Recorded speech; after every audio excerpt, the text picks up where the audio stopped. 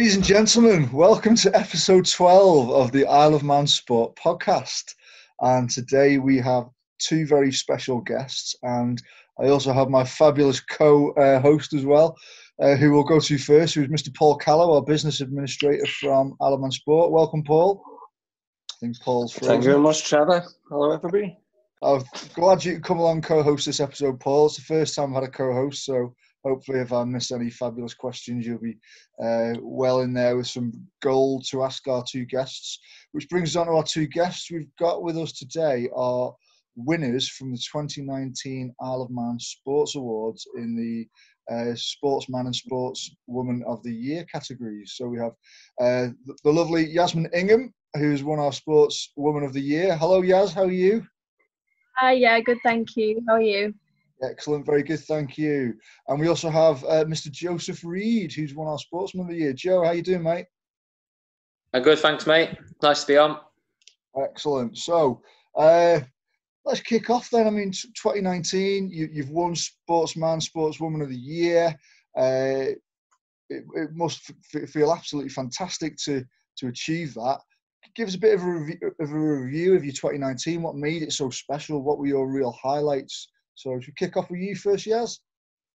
Yeah, sure. That sounds good. Um, yeah, 2019, it was a really, really good year for me. Um, my main aim was to go to the under 25 British Championship, and I thought I had a really good chance of doing well. And to actually come away with the title was obviously a bit of a dream come, come true, really. So um, absolutely delighted to have achieved my my goal that I'd set myself um, earlier on in 2019. So really delighted with that, um, as well as the fact that I've now completed the whole set of the Youth British Championships now. So that was like my my ultimate goal was to to end up doing that. So I'm only um, I'm 23 in a couple of days, so I've got a couple more years left at the under 25s yet. So I wanted to make sure I achieved that before I turned 25 and I was out of that category. So it's nice to have done it a bit earlier than I was gonna. Well, you know, I've got a couple more years left to do it. So, um, and then again, the the second half of the year, I did have a couple of speed bumps and stuff, but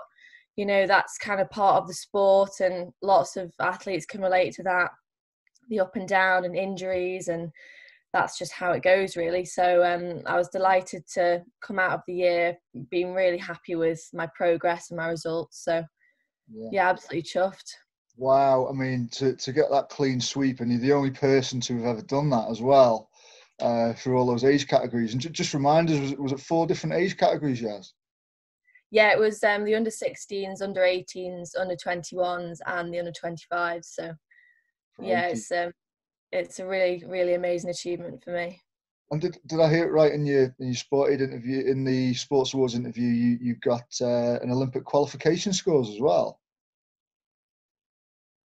Yeah, I was so happy to have achieved um, the three one of well three of the horses that I ride. Um, a couple of them being Sue Davies and Janette Chinn are qualified for the Olympics. Um, well, the qualification pro- process for the Olympics. So it's really exciting that I can will now go out next year and try and put in some early season results and hopefully sort of be on the list that they um, whittle down to their final few combinations that actually end up going to um, Tokyo. So uh, really, really happy to have achieved that as well. So um, obviously my ultimate goal in life is to go and win a gold medal at the Olympics. So to be sort of a little bit closer now is um, really exciting.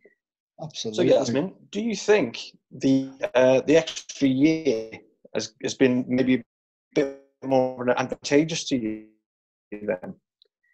Um, I would say um, it's almost a bit of an advantage um, with having an extra year because it means that um, I can train with the horses for an extra year and we can be sort of a bit better for next year. So a bit more experience and they'll be trained a bit better. So I would say, from my point of view, it's an advantage, and I can almost um, really focus now on this time that we've got to, um, with no events going on. I'm really focusing on my weak points, so um, to try and really strengthen those up before the season starts again next year, hopefully.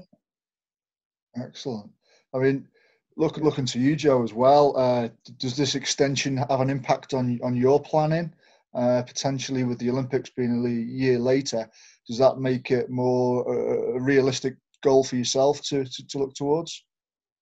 Yeah, I think um, I'm probably in the same boat as Yaz. Really, I'm young enough and um, in comparison to other people in my event in my sport that this year probably helps me. It still helps me um, grow to be a better athlete. Whereas some people might have been looking at 2020 from 2014, 2015, saying, "Oh, if I do everything right, I'll hopefully be able to hang on to them." Whereas I'm yeah. still going to be getting better past 2020 into 21 and 22. So, yeah, the extra year from from a selfish point of view for me is quite good. Again, it means you've got extra time to work on your weaknesses, extra time to get fitter, faster, stronger, and hopefully, if we can actually do some races before summer 2021 next year, you'll be that bit more experienced as well, which for a younger athlete like me will help.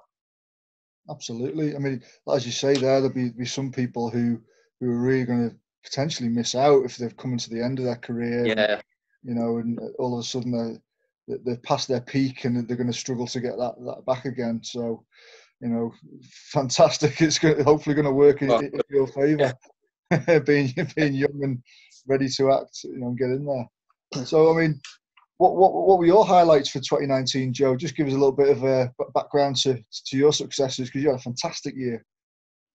Yeah, um, it was my favorite favorite year of running since I've been a kid. Like you know, when you're a kid, you just want to go out and win races and run PBs, and I basically had like the senior year of doing that. Um, it was nice as well because I took a bit of a gamble. I mean, 2018, I was in the Isle of Man, um, living here full time, and I was working 30 hours a week at Manx Telecom, and then I decided that I needed to go back over to the UK to really try and kick on a bit.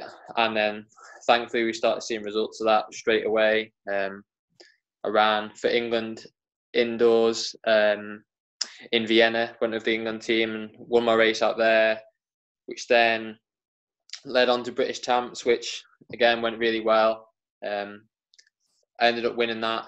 It was circumstances were a bit strange because the the race itself, I actually crossed the line second, but the guy who won ended up getting disqualified for. Mm-hmm. Um, I think it was a push in the end that they put it down to, and I'd I'd only just picked the other guy for second, and at the time yeah. I was dead happy. I thought, oh, top two will qualify for Europeans as long as you got the standard. So I was just happy that I'd qualified, and then we were waiting for the medal presentation, and this woman came over and she whispered in my ear, she's like, "Oh, I think that you might have won." And I was like, "What?" he was like, "Yeah, um, the guy who won might have been disqualified." So then I had to wait. Ended up being like four hours to get the result, and then found out I won. Got a lane in the Grand Prix, qualified for Europeans. Went there, made the semi-final, which I was chuffed about. Um, and then outdoors, I ran like four four PBs. Um, won the England title in July, um, outright this time, no, disqualif- no disqualifications. um, and then British final outdoors as well, which is probably it's got to be the best British final that we've had in years. I mean, everyone in that race is like top top quality athlete, and yeah. it's great to be great to be in that. And I just came out of the year feeling like that I've had my kind of breakthrough year now, and I'm ready to kick on over the next two or three years and mm. really establish myself as one of the top senior Britons in 800 meters. That's fantastic. I mean, you, both of you have, have been experienced some really high level competition there, and I mean, I suppose it makes begs the question about mindset, doesn't it? I mean, ha, a lot of people could go into those situations and feel quite uh, daunted, uh, scared, and, and, possibly a little bit intimidated to actually pr- produce their best performances. I mean, how, how do you guys approach those big competitions? For me, um, I, it was something that I probably struggled with when I was younger. I'd I used to always think that, you know, because we're from little old Isle of Man and I'm competing against guys who have got all the training facilities in the world in London and access to the best coaching stuff, I always used to think that they had an advantage. But I always like to just strip it down to the basics and just think, you know, for me, it's man against man, like I was in primary school when I was have cross country or sports day. It's just whoever can get to the line the fastest. Doesn't matter what experience or what access you've got. If you back yourself and believe in yourself enough, then you can beat anyone. And I think as I've come to be a senior, I've thought about that more, and it, it's definitely helped me to be less intimidated by other athletes who you might see as superior to you, but really, like I said, it's just man on man. You've got to get to the line first. Absolutely, and, and, and I mean, you've got the unique scenario as well of it's not only what you do, but it's it's also the the animal that you that you're riding as well. You know, uh, how does that sort of impact in the world of horse riding? Because if a horse comes from good breeding, I suppose that could put uh, some people might think one horse is guaranteed to be better than another because of its uh, its genetics. Yeah, I mean, for sure, like the genetics definitely help. Um, if you've bred a horse that's kind of got talented parents, then you know that's a good chance that the outcome is going to be talented as well. So it's always good starting off with that. Um, but I think going into a competition, I always just try and, as Joe said, strip it right down. And I do this sport because I love it. And as long as I'm enjoying myself, I always perform a lot better. So if I'm ever going into a high pressurized situation, I just try and think, I'm here because I love this. I'm going to do my best. And I always seem to do a lot better than going into something thinking, Christ, this is so important and I really need to do well here. Mm. I think it's important just to um, go back right back to basics and think, I'm here because I love it and um, I'm going to do my best and just try and be really positive about the situation. So I think that's how I would go into something important with my mindset. Oh, it's good to see there's a lot of similarities you, now, oh, sorry. No, go on, Paul. Yeah, so just something that, that I picked up from from uh, what both of you really were saying there before, where you said about coming from the Isle of Man, being you know little old Isle of Man. Was there anybody locally that you looked up to who paved the way for you to think, you know, I can't, I'm not going to be limited by where I'm from. I've somebody else has, has done that, or somebody in, maybe in your own sport or another sport. I mean, if you look at the likes of um, Mark Cavendish, he's such a great example. He's, you know, he's gone from the from the very bottom as a, a young athlete, and he's worked his way all the way up to the top. And he's been such an amazing ambassador for the Isle of Man. And um, I think everyone's sort of opened their eyes now and thought, wow, you know, the Isle of Man produces some amazing talent, and not just in cycling. I mean, athletics and um, motorbikes, um, all sorts. So it's it's amazing now that we've sort of put ourselves on the map a bit. I guess for me, um, I probably didn't have a particular role model. It was just I, I, I feel really lucky that when I came to, into athletics and started taking it seriously, there was a real, real good group of people um, who I used to train with, be surrounded by, and go on trips with. So the likes of I remember the first time I went away, I was with um, Hannah Riley and Tom Riley used to be down at the track all the time. So I always had people who've been successful at Island Games, particularly to look up to. And then I remember my first real um, best memory that I had in athletics as a youngster was going to the Bermuda Island Games and like that trip.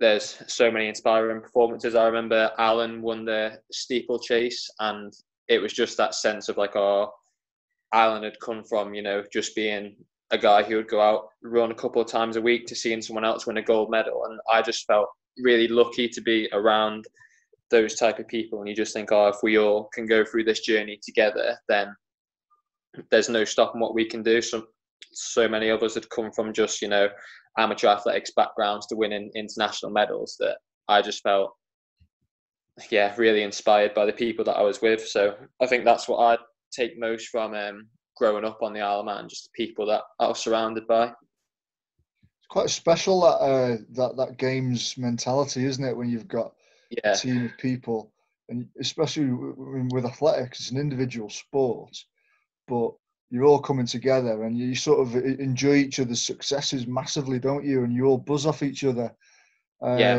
that was the feeling I got in Island Games, and I was never a medalist, but that uh, that feeling it's it's it's, it's really uh, it's, it's contagious, isn't it? Oh, I, I Bermuda is still to date one of the best memories I've got in athletics. I kind of went there. Probably didn't appreciate actually how nice Bermuda was. I didn't realize the Island Games weren't in place every other year. so probably took it for granted a bit. But yeah, like I I was doing 400 then, and I won the gold medal. And I remember that feeling after. I got a couple of pictures actually, and I think it's the only time after a race that I've ever like because I always grew up watching football and I just would love to like celebrate goals. And I celebrated winning that gold medal like I just scored a hat trick at Wembley in the FA Cup final or something. I was so buzzed. I cost that. Ever, ever forget that. So yeah, that's yeah, still to date one of the best memories I've got. And yeah, I think well, a lot of them that I've got will always be um, in an Isle of Man best, but that's yeah, that's up there still, all the way from seven years ago. Well, being an Everton fan, I suppose you've got to hold on to these successes as well, haven't you? Because you might not get to feel like watching them. Easy, Trev. yeah. oh, sorry, Paul, you're blue as well, aren't you? um, just one thing I just want to ask uh, Yasmin. Obviously, with, with your sport not being uh, in a sort of Island Games sport, um, what's what's the pinnacle of, of, of your sport in that sort of I say island mentality, is there any sort of um, events that go on that are akin to the, the island games that people may not know about that you partake in? Well, it's quite difficult because obviously um, my sport isn't involved in sort of, as you say, the normal island games um, competition. So I think as a kid growing up, I was always watching um, badminton and Burghley on on the on the television and kind of looking up to all the riders competing there. And that's sort of um, the pinnacle of my sport um, in general really. So I think um, having to you know that's the same for all questions on the island that um, you know they watch badminton and Burghley every year. It's like tradition. So um, I think that would be what I what I looked up to as a child. So badminton, I mean, uh, I've I've had the pleasure of watching badminton a couple of times because my my wife's uh, she she's into equestrian sport and uh, it, it's proper demanding sport. I mean, credit to you guys and very very dangerous. Uh, I mean, you alluded to to a bit of a setback that you had, Yaz, didn't you, uh, in 2019? I mean, can you give us a little bit of background in, in, into your injury and, and sort of how you fought back from that? Yeah, um, it was all going a bit well, to be honest, as it always does. And you know, you're kind of flying high, and then all of a sudden you come crashing back down to earth again. So um, I was competing in a senior trial for the European Championships, the Senior European Championships, and um, I was actually in the lead going into the cross country of this final trial, and I had to come back from the cross country with less than six time penalties. So obviously you, you've got an optimum time to reach, and for every second you go over the time, you get 0.4 of a penalty. So um, I had to sort of get my foot down a bit to make sure that I was there or thereabouts on the optimum. And I remember coming into this fence, and it was a bit of a do or die, you know, as you've got to take the risk mm-hmm. sometimes. And I went for it, and it it didn't quite pull through. Um, and basically landed on my head um, and sort of crushed my neck in a really awkward position. Um, I managed to walk away from it, managed to get up, and I was checked for um, concussion at the site before I was able to leave and stuff. And I had to go in the ambulance, and they had a bit of a prod and poke. Um, but obviously, you can't really do much more than than that. You've got to kind of make the decision where if, if you're to go in the ambulance or if you go home and sort it out yourself. So um, to be honest, I thought I was just a bit battered and bruised. So I continued on. I had another really important event coming up that weekend. Um, so I ended up competing in that and was in quite a lot of pain. And as soon as I returned back from the following weekend, I thought, actually, I don't think this is a good idea. I should probably go and get myself checked out. And my physio recommended I go and get an MRI scan. And um, the results from the MRI scan showed two hairline fractures in T4 and T5 and the thoracic spine. So um, I was really lucky that they weren't displaced or anything. They were simply just yeah. a hairline fracture, so they were stable. Um, I think if they were displaced, obviously I'd have been in a lot more pain, and it would have been a not a very good outcome for going forward. Um, so I just had to really take it easy for six weeks. Um, I said to the doctor I really wanted to get back for the final few events of the season, and obviously he was he wasn't telling me that was a good idea, but you know he said just try and not fall off, okay? Like it's you know it's not ideal. so um, with lots and lots of physio, um, strength and conditioning, I managed to get myself back up and fit for the last few events of the season, and just had to obviously be extremely careful. But again, there's only a certain amount in your control that you can do that. So yeah, um, I was quite lucky with the fall anyway. Crikey, very very lucky, and you know, and, and credit to you. What what a tough cookie to to want to come back and, and get straight back on the horse and, and, and get straight back competing again, even before you knew you'd broken anything as well, and you were competing with with that with those fractures.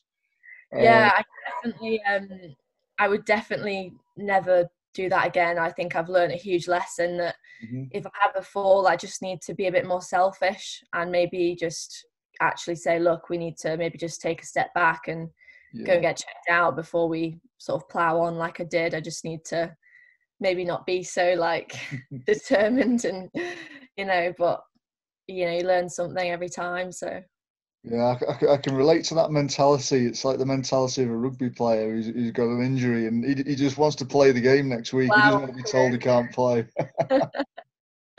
Crikey. No, credit to you. I mean, I mean, Joe, have you had what sort of setbacks have you had along the way? Have you had any major injuries or things like that that you've had to sort of really test your character and your resilience to get back on the track? Um, I guess it's the same in most sports. You get you, you get injuries quite frequently, especially in athletics. I've only ever really had two um, bad ones. I had a hamstring tear in 2015, um, which that was my first proper injury. So you, you feel like you're invincible a bit then. I probably didn't rehab it and manage it as well as I should have, which I mm-hmm. later paid for in the following years as I never tore it to the same extent again, but I kept having little tweaks of it. And then I, I, I feel like I've managed my body quite well. Um, obviously, since I've gone up to the 800, the demands of that event are different. So I've started, you know, going out for more runs and stuff. And this year was the first year that maybe um, I saw that effect on my body. I had a foot injury, um, just a tight uh, plantar, which meant that I didn't um, step foot on a track for about it was about seven weeks mm-hmm. in the end. I was still able to train and do other things, but yeah, I was seven weeks not wearing spikes or not being on a track. But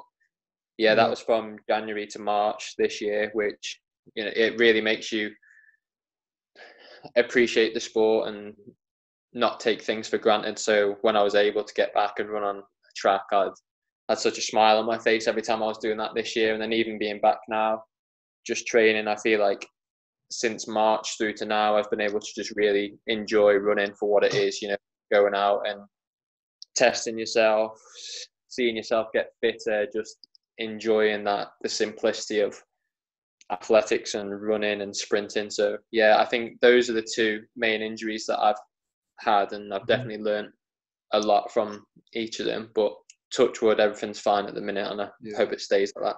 Absolutely. I mean, in terms of setbacks, I mean, setbacks is, is everyone's guaranteed to have a setback in sport, aren't they? At some point, uh, and, and, how you deal with that often shapes the your future successes. But uh, you've also got uh, people who are helping you along the way, so it's probably a pertinent time to talk about about that. I mean, what what sort of support networks have you guys got around you that enable you to to sort of do your sport, and especially at the level you, you're doing it at?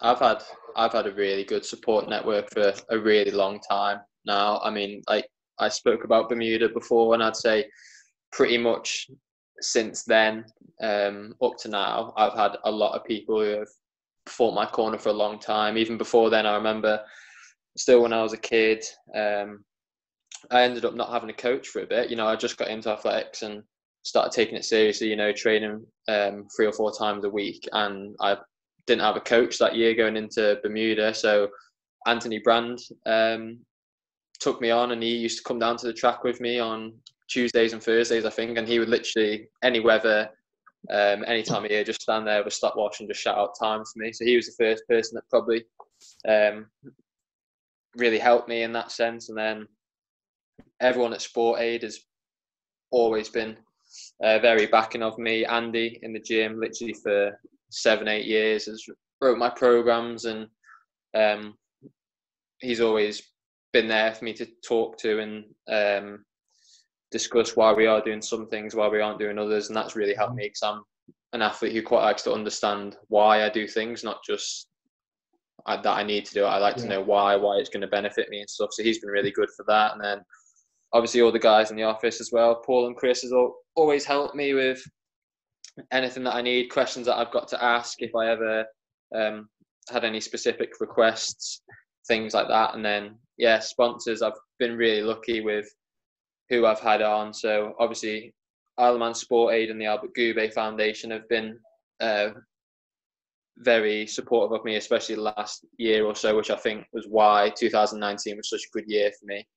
Um, and then private sponsors I've had uh, Suji at TLC Business Solutions. She's been with me for two years now, and again, she's brilliant. She just stays in touch. She's anything that I need, she'll she'll support me like no end. Uh, have me around for tea and coffee in her office and just again it's nice to have someone like that from a different a different perspective obviously she's not involved in sport so she can help me from a business perspective as yeah. well and say how she's been successful in a business she can help and relay certain things to me in a sporting sense and say mm-hmm.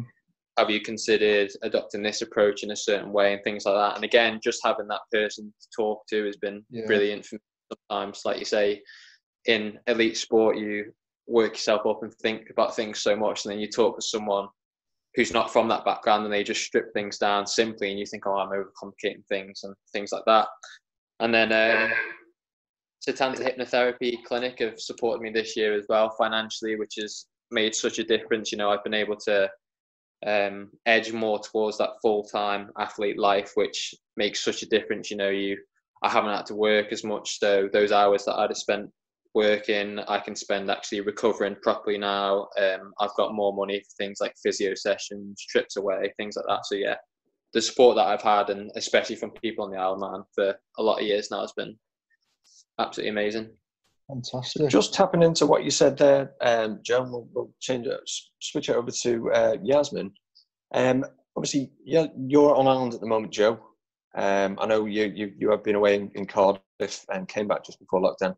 Yasmin, you're currently still in the UK and have been based there for, for how long now? And if you want to explain a little bit about what, what, what you're doing, where you're based, and things like that. Yeah, for sure. Um, so I moved away from the Isle of Man when I was 16. Um, I just left school, and I I had this conversation with my mum. I either continued to do school and go through sixth form, and then obviously on to either university or college. And mum said to me that I'd already um, won double gold at the European Championships when I was 16. Um, she said to me, "If you've if you really want to do this, you know now's the time to really take it up and move across and try and make it happen." Um, and it was kind of a bit of luck, really, that um, it all fell into place. Um, I'm currently supported by Sue Davies and Janette Chinn, and I'm based at their uh, stud yard in Cheshire um, and I ride their horses as well. So really, without them, I wouldn't actually be doing what I'm doing. So um, for them to especially be from the Isle of Man as well, that they're supporting a Manx girl and trying to you know help her achieve a goal of going to the Olympics and you know winning the gold medal, I think is really special.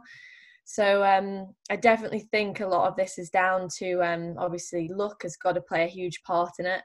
Um, results and dedication. Um, I kind of came here as a young girl, and Sue obviously didn't want to just hand it to me all on a plate almost. I had to work my way up and prove to her that I wanted it and I was dedicated, determined um, for what I wanted. And um, now that she's sort of seen that I'm really wanting to go forward with it, she's supported me 100%. So I'm so grateful for them and what they've done for me as as well as my mom and dad and I think it was the the whole process of um, obviously when I was first accepted onto Sport Aid, um, I thought, wow, like I've really got to give this a go now, and you've just got to make the most of every opportunity that's thrown at you. Um, so I'm so glad that I've had the support from Isle of Man Sport as well, from um, very young age that they've really pushed me and encouraged me to go forward and do what I love. So I'm very, very lucky.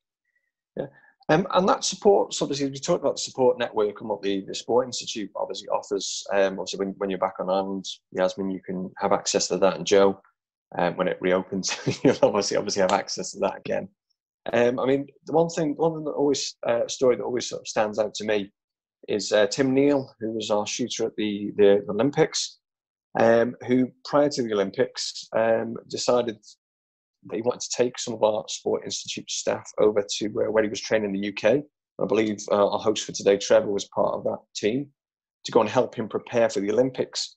Um, and I don't know, just we'll throw it to you, Trevor, actually. Um, so why do you think that was that, that, that he wanted to have, you know, local Isle of Man based uh, support team around him at that point? Uh, well, I think a lot of it's down to relationships, and, and Tim had already uh, developed a lot of those relationships over the years, uh, especially with Ruth Cool as physio. Uh, so, she, and with myself providing some strength and conditioning support, I think uh, having that p- people you know and trust can make a big difference. Uh, so I think that's possibly a, a big reason behind Tim's uh, decision to try and stick with us because obviously he had he had access to things like EIS as well and their strength and conditioning teams and uh, I think he was getting psychology support as well from from EIS. So he, he was getting a mixture of uh, some support from from the UK, but he, he being a really proud Manxman, he, absolutely loved working with with Isle Sport and, and, and having that wider network with with, with home really. Because I think even though he lives in the UK, I, I think he still considers the Isle of Man as, as, as home in, in a lot of respects. So just for you two, when you go to the Olympics, Trevor would like to uh, to help you out there.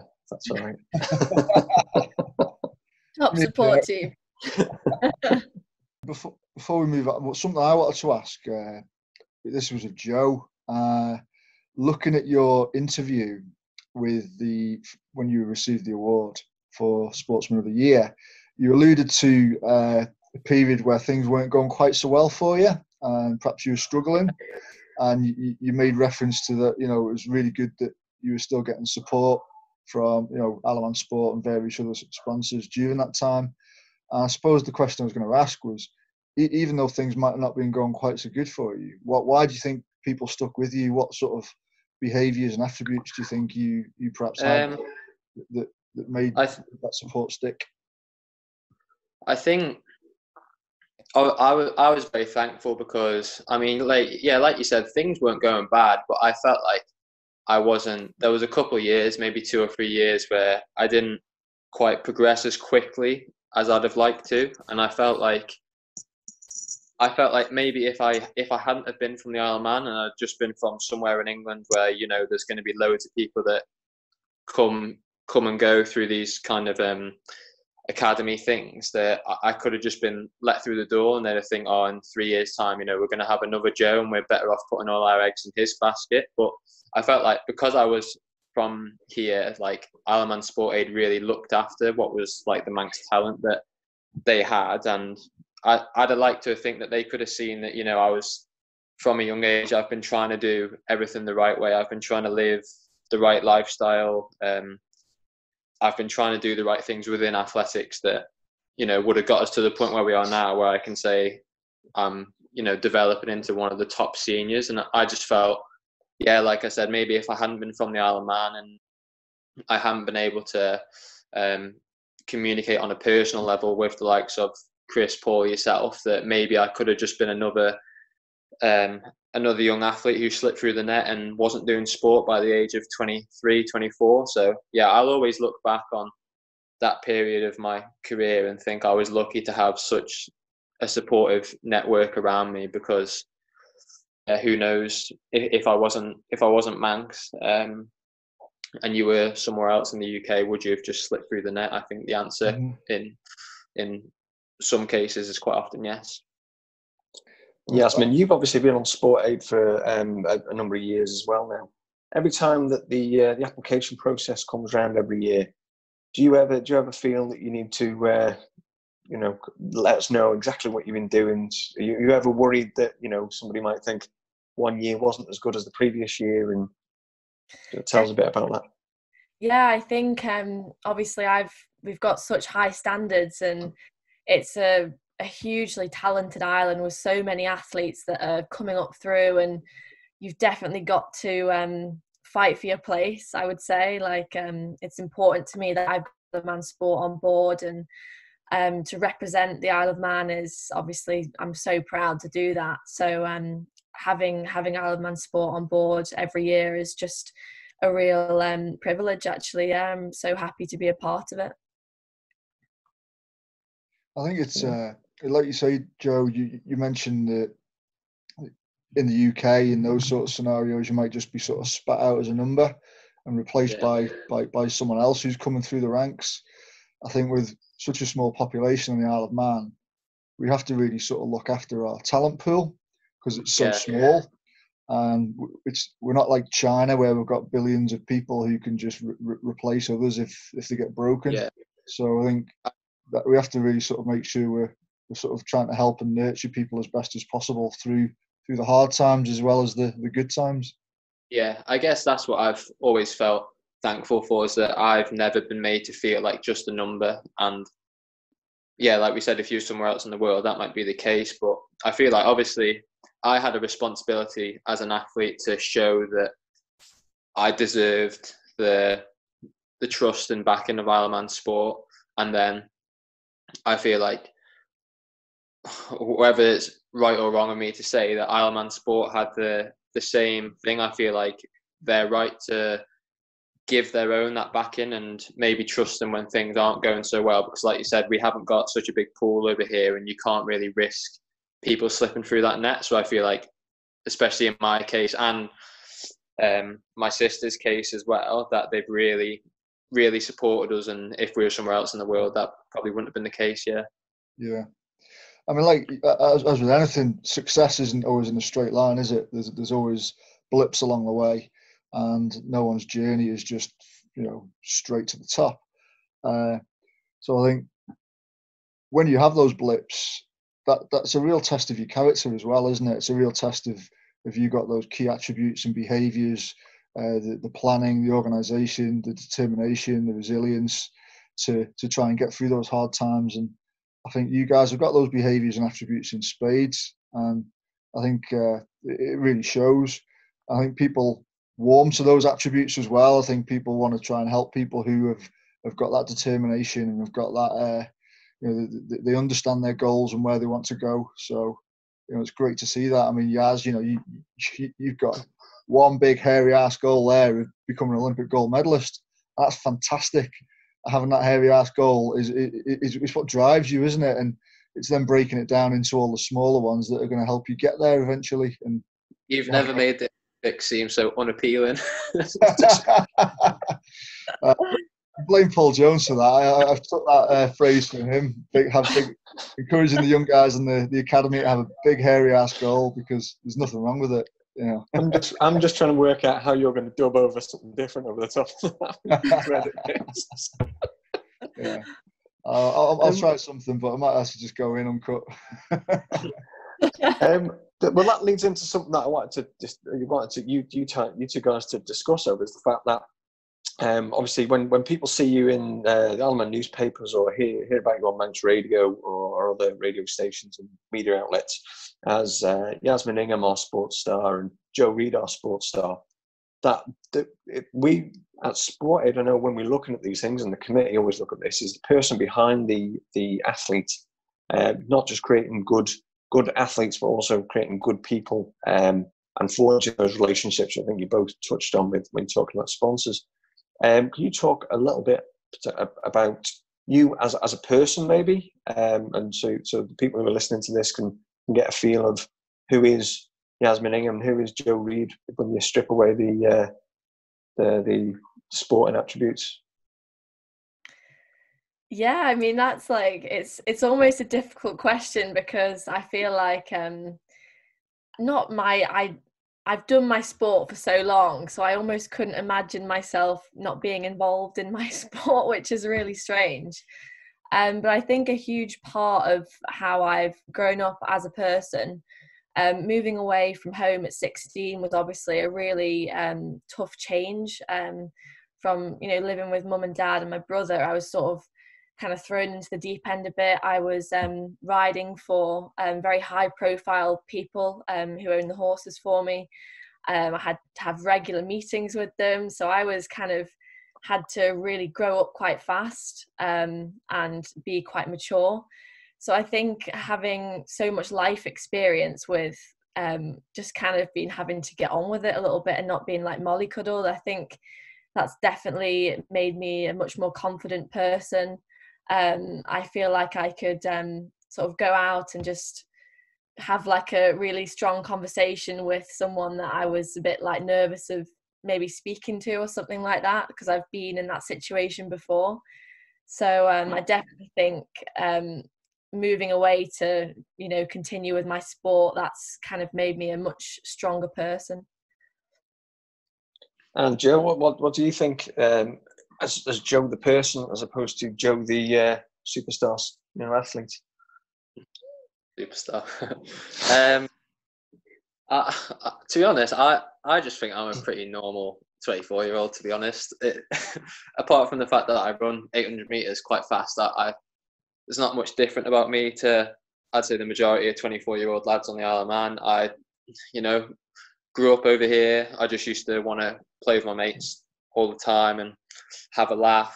Uh, went to uni, made some really good friends there, and I was really glad that I had that uni experience. The only difference for me that was where the boys that I lived with would go out five times a week. I'd maybe go out twice a year or something like that. Um, um, but yeah, like I, I feel like I'm, I'm very social. I like uh, when I can switch off from my sport. I like just family time and time with my mates. Um, just real simple things that everyone else like. I mean, um, in off in off season, I'd probably live live the life that any anyone anyone else um, around my age on the island does. You know, um, socializing, um, even yeah, in off season, I don't mind going down to the pub on the weekend, um, having a couple, and you know, just living like a normal life. Like Yaz will know the saying, we live such intense lifestyles, normally trying to achieve everything in the sport that when you get that time to switch off, it's really nice. And I quite like to make the most of that and just feel like, um, you know, not an athlete for a bit. And do you think, uh, because both of you said quite similar sort of things, in the fact that you're not maybe not that different from the athlete to the person, do you think that's that's been a major benefit for why you are so successful to this point and how you, how you've done in your sport? Is the fact that you can a transition isn't so great from being a, personality to being a an athlete, maybe. Yeah, I guess. I I feel like there are certain certain elements of my personality that help me in my sport, but then pers- there are certain elements that I'd have to take away. I mean, I'd say aside from athletics, I'm actually probably quite lazy. Um, a lot of the a lot of the traits that I have in my life, I'm very lazy with. You know, I don't have much urgency about things. I'm very laid back. But when it comes to athletics, I'm very switched on. I know what I do and don't have to do, and I know when and when I do and don't have to do things. Um, I think the most important thing is just being able to strike that balance of knowing what the good good things are about you and your personality that will help you in your sport, and then knowing knowing the things that you have to turn the switch on and say no i can't let that carry over into my professional career because i need to be better at that i think that's the main thing that i've learned about the personality between me as um, just a normal member of society and then me as 800 meter athlete Something I, I think we want to move on to, guys, is uh, the current situation we're in at the moment. And we've talked a lot about our sort of backgrounds, 2019, the successes. We've talked about injuries and setbacks there. we have now got a, a, global pandemic with COVID 19, and that's a big setback for everyone. Um, can you guys give us a little bit of uh, information around how, how that's affecting you at the minute and how you sort of, uh, I suppose, approaching that challenge of uh, of lockdown and, and not being able to do what you would normally do? I think like obviously it's a huge change to what the norm is around this time of year. Like my season starts from March till October, so obviously we'd be on the run up to our major three day events, which run sort of end of May, beginning of June. So we'd be sort of making our final preparations for all these big events, and it's just really strange that this you know this has happened. It's absolutely crazy. You couldn't really have written it, to be honest. Um, but I think um, I'm quite lucky. I'm based here in Cheshire. I'm on site with the horses. So not a huge amount changes for me in the fact that I can still train, I can still do things with the horses, maybe not quite to the level of what I would like to be doing. Um, the our federation has asked us to just scale it down for now, just until um, obviously we're trying to protect the NHS. We don't want to be doing anything dangerous that could um, potentially hinder them so um, yeah we're just continuing training um, as i said before working on my weaknesses now. It's a great time to do that. So um, i just hope that we can sort of get back to some sort of normality soon. Absolutely. And uh, i mean approach wise for you joe i mean what uh, you would normally be in cardiff you're in the isle of man at the moment is that right? Yeah um, i live live in cardiff with my girlfriend we just have a one bed flat there and we felt like it was a sensible decision to come back you know have the support of our families and stuff around us so we came back and um, although like Yaz, I can still I can still train pretty normally. I just have to adapt some of my sessions. So obviously, I don't have a track or a gym at the minute. Yeah. Um, so I'm doing a lot of my sessions running on um, football pitches, golf courses, hills, beaches, um, think yeah i've just had to adapt it and then you know i've picked up a few things that i can kind of use to make a home gym. So my garage is a bit of a mess at the minute. We've got bars and weights and kettlebells and skipping ropes and stuff in there. But yeah i'm still able to follow my structural training routine that i would. I've just had to adapt it slightly. And to be honest i, I feel like i'm going to come out of this fitter and stronger than i went into it. Obviously i'd had that foot injury that had lasted till March. So I actually feel like now I'm I'm in quite good shape in comparison to what I was then. Yeah, I mean, have you both found? Sorry, no, go on, Paul. I was going to say, have you both found um, this this time when not everybody will be ramping up their training, um, so you can afford to just keep things ticking over? Have you found this has given you the time to do things that maybe you wouldn't normally have been able to do? Definitely, yeah. I think um, it's always important to um, try and keep your sponsors in the loop and maybe do some extra things for your sponsors that you wouldn't usually have time to do during the season.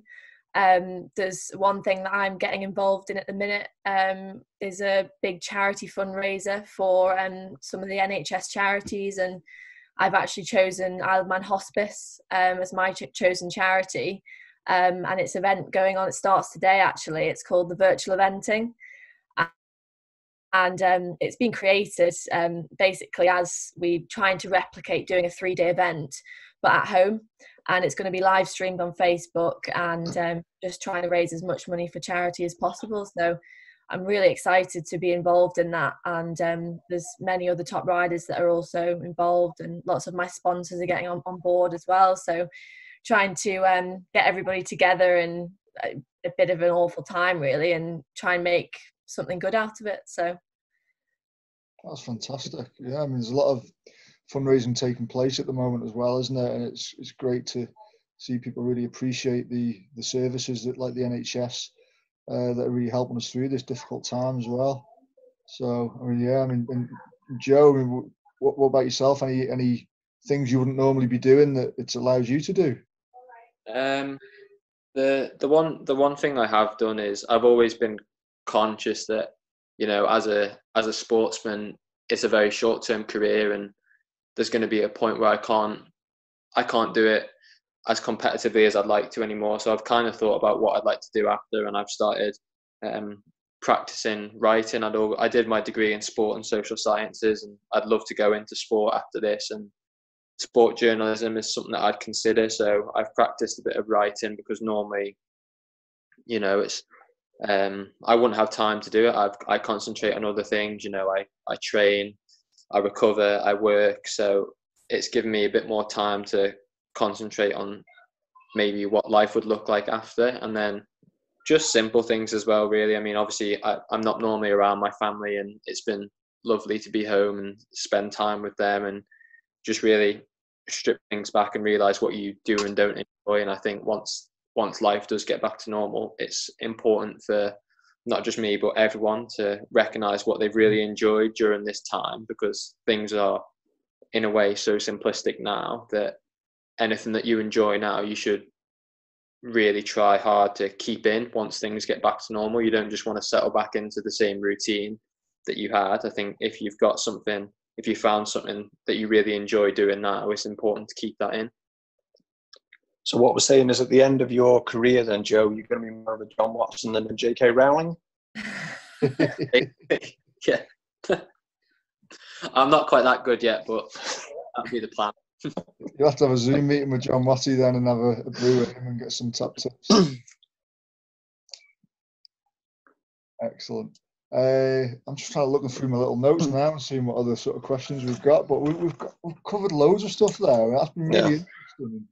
Uh, it's been great to hear what you guys have been getting up to and, and sort of how you sort of dealing with things. Uh, are you still sane through COVID at the moment? Still positive and upbeat and raring to go? Yeah. To, to be, I've, Sorry, I've, not that I've enjoyed it. I mean, obviously, there's people that are really struggling and losing family members and stuff. So it's horrible to say that. But I mean, at the same time, it's been it's been quite nice to have just had this simplicity put back in. You know, I think everyone and I've been guilty of getting um, you know caught up and you you think that life's 100 miles per hour and now that it's like slowed down you can see things what they are. I I, I quite in I've quite enjoyed having that dis- different perspective I think. Yeah I would actually totally agree with you Joe. It's been nice to um just slow down a bit and actually enjoy um, just a bit of normality as well. No, I totally agree with what you what you guys are saying. You, mentioned being stripped back. I think it is. It's got back to the core values of of, of people, really. Yeah. Um, so when we take we stop sport, and it was the same for everybody. It's not like some sports have been, you know, carrying on through all this. Everybody's on. It's a level playing field now, and a bit like when everybody gets back, it probably will be a bit more of a level playing field. But the simplicity of sitting down to have a, family meal and things like that is, is something I think that we've we've always taken for granted, and we thought we've never had time to do it, and all these things that we never had time to do, we're actually you know we've got that time to do it, and I think it'll we'll come out of this with the, the new normal, uh, looking something uh, a lot different from what we're actually we, we think. And one thing I did want to ask you guys is. So in the evenings, um, are we are we Netflixing? Are we Amazon Prime? Are we Disney Plus in? what's what's your recommendation for to get you through? Um, I think. I mean, I'm I'm all I'm I'm sort of gutted that I can't be at home. Obviously, whilst there's no eventing going on, as I do spend most of my time over here in Cheshire with the horses. So obviously, when there's no events on, I almost kind of want to be at home.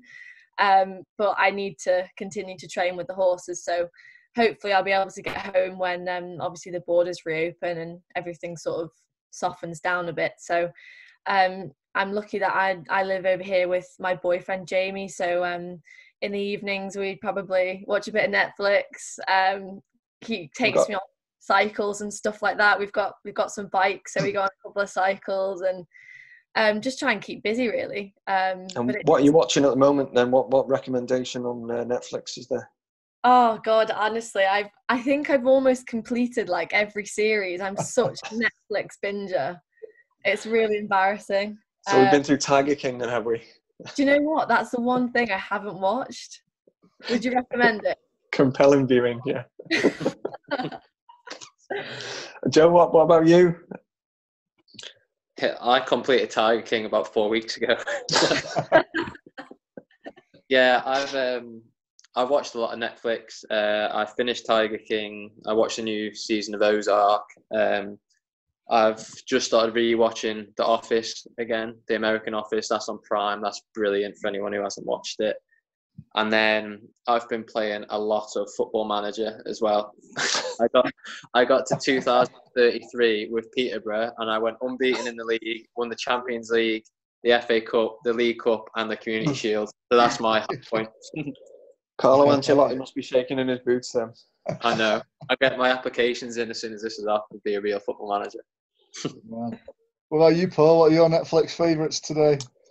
Uh, I've been watching some uh, Ted Bundy. Uh, oh my life! At the moment. so I just got through the extremely wicked um, film, and there's a couple of things that I've been watching on that.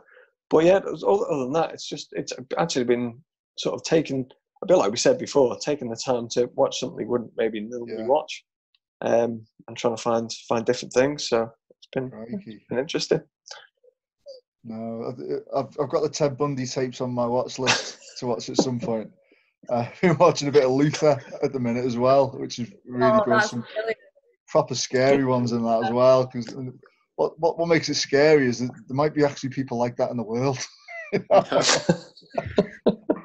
but uh, nostalgia. I, am going back through, as you know, Paul, back through Knight Rider at the minute with, with, with the Hoff. So, so that's been a, a, little good nostalgia trip for me. Mm. And that's been good. Right, we'll probably close that there, guys. We've been going for a good hour. Uh, so this will we'll get this out as soon as we can, so people can enjoy listening to your stories. And really big, big, big thank you to both of you for for giving up your time and, and coming to speak to us. So pleasure. On behalf of like Isle Sport and hopefully the Isle community, we wish you well through COVID and all the best for, for when sport kicks off again. Uh, go out there and smash it, guys. Will do. Thank you. Thanks. Well done, guys. Thanks, Paul, for, for coming in and co-hosting with me today. It's been brilliant and it's been quite nice actually uh, bouncing the questions between the two of us. So we'll have to get you I'll back be expecting a call one. for the next one. Yeah. Absolutely, mate. okay, so guys, stay safe. Uh, wash your hands and uh, we'll catch up with you again soon. See you later. Cool. Nice. Thanks. Bye.